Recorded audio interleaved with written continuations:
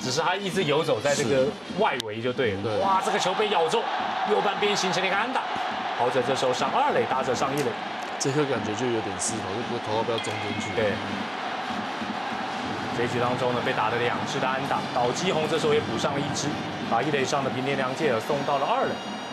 原本以为这个球一打出去的时候，以平田的脚程来讲呢，蛮有可能有机会上三垒。嗯。但最后还是比较保守的选择留在二垒上面。所以我们看到他几乎快。